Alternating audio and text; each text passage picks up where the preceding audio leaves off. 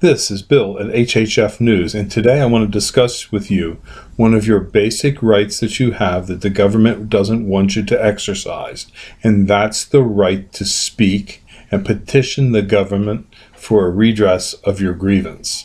And what do you do and how do you do that? Well, it used to be you go take a petition around and get 20 people to sign it and then send it to the government and then watch them throw it in the circular trash can because they don't have to do anything when you send them a petition. But there is one way you can demand information from the government and demand that they take action, and that's to enlighten you.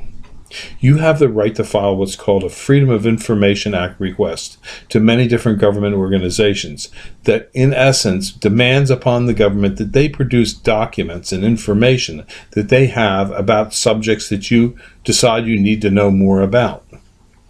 Filing what's called a FOIA, Freedom of Information Act request, is very simple. You can go online and you can download instructions, you can download sample FOIA letters, and then you can copy and paste and put in the name of the FOIA officer that you can look up on the internet and have that person respond to you about your question. Now, if you're afraid to do it because you think that the government will take retribution against you, fear not.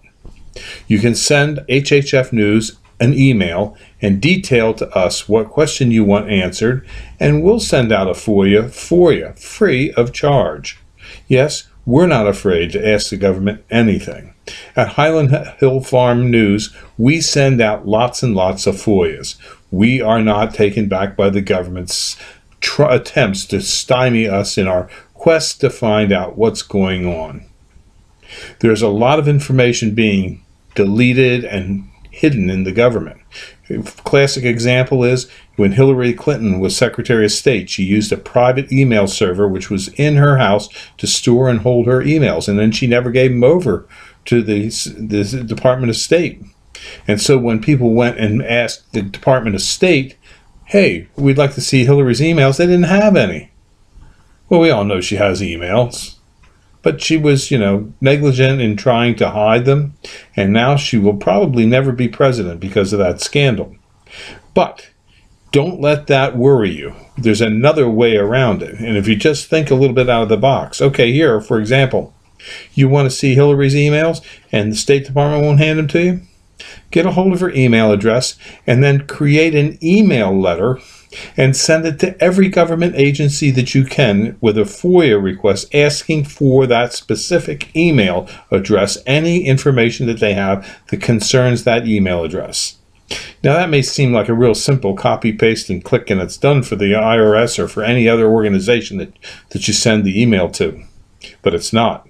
Because from the government's perspective, that's a very difficult question to answer because it's not easily determined through their servers.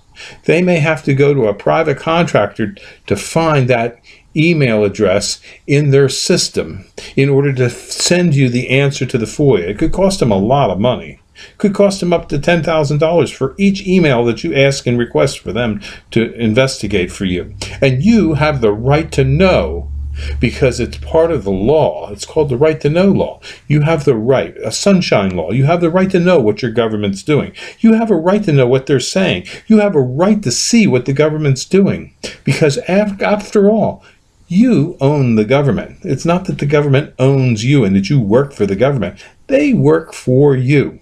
Now, when you send those FOIA letters out, believe it or not, the people that actually respond to the FOIAs are professionals.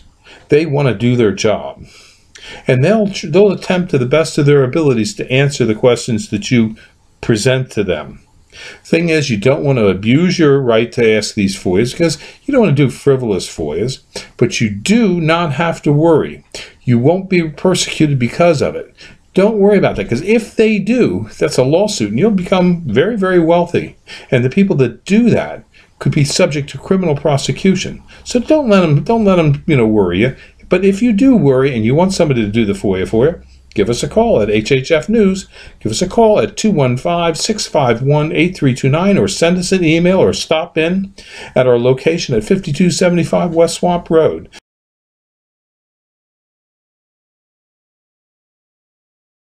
At Highland Hill Farm, we raise over 200 different kinds of trees and shrubs, and we can ship as well as we can deliver and plant from many different places.